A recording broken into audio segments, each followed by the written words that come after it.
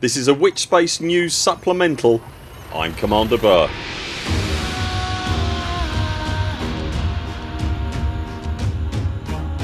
Frontier released patch notes yesterday for the forthcoming Fleet Carrier Beta. Aside from the addition of fleet carriers themselves they had promised a new wave of patches and fixes to the existing game and we're going to run through a few of those fixes now.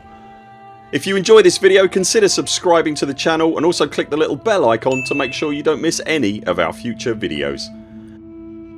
So here's what we know from the patch notes. Players will now receive arcs for killing scavengers, those scrabbly floating things on Thargoid surface structures.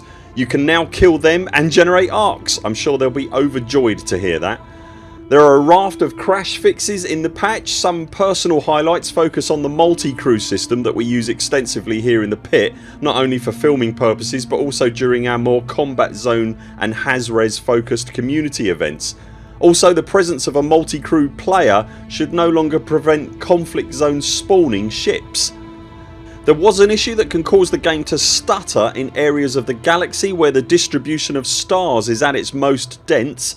That has also apparently been squashed and the network performance of NPC fighters and ships has been improved to help reduce lag and loading back into an AX conflict zone that is positioned near an asteroid belt should no longer cause you to disconnect. Also system authority ships should no longer appear in supercruise in an anarchy system. Conflict zone issues have been given a look over as well and a bug that caused them to end abruptly has now gone as has a bug that caused your choice of which side to join to be ignored. Also the missing objectives combat zone bug should now be toast. NPC crew should no longer stop responding to commands in AX conflict zones leading to a huge reduction in the number of court martials I'm sure and a bug that stopped NPC fighters being deployed altogether is also gone leading to a huge reduction in the number of NPC executions for dereliction of duty. For explorers locations uncovered via the detailed surface scanner should now be listed in the system map correctly when returning to a system.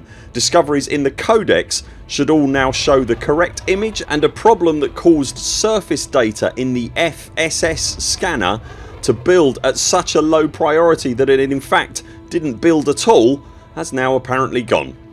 A horrendous sounding bug that would sell ships accidentally in the shipyard when players were accessing the codex has thankfully been squashed and a bug that caused players to drop from supercruise too close to a starport has been removed. I think that has caused at least one fatality in our community alone that I'm aware of. Miners and limpets rejoice. A fix has been implemented so that core mining fragments will no longer penetrate into asteroids and the depot system has been added to solo mining missions meaning you can take on those missions and do multiple runs if you so desire rather than attempt it all in one run.